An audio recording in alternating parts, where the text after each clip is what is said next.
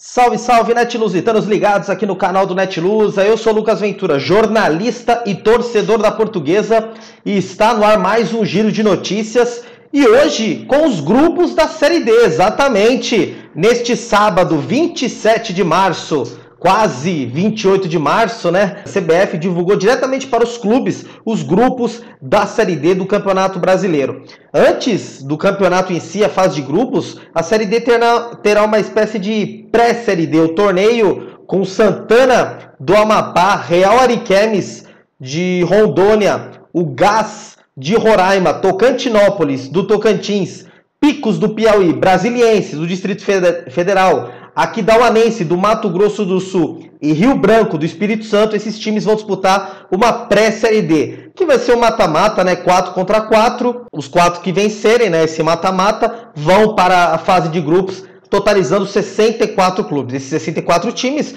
foram distribuídos de forma regionalizada em oito chaves com oito times cada uma. A portuguesa, atual campeã da Copa Paulista, fica no grupo A7. A competição está marcada para começar no dia 5 ou 6 de junho. Claro, a gente não sabe por conta aí dessa pandemia, mas está marcado para começar no dia 5. Aí não se sabe, né?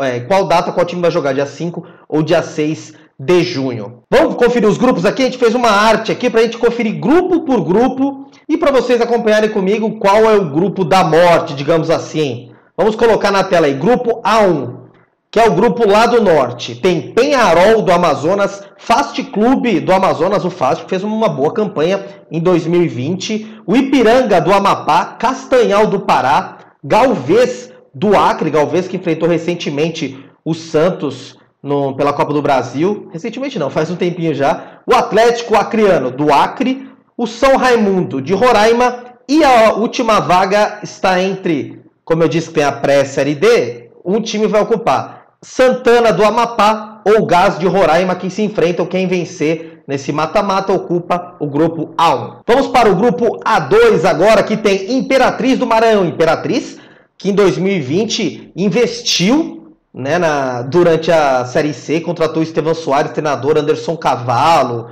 é, o Guilherme Garré, que é um jogador muito conhecido, hoje defende o, o 15 de Piracicaba. Só que o Imperatriz acabou caindo e esse ano vai disputar a Série D.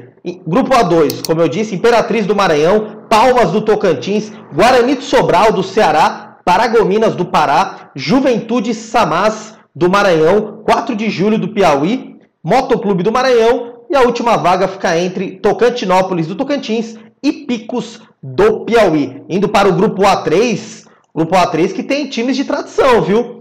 América de Natal, ABC de Natal, os rivais lá de, de, de, Natal do Rio Grande do Norte, 13 da Paraíba, o Salgueiro de Pernambuco, que enfrentou, isso foi recentemente mesmo, o Corinthians da Copa do Brasil, Souza da Paraíba, Atlético do Ceará, Calcaia também do Ceará e fechando o grupo A3, o Campinense da Paraíba.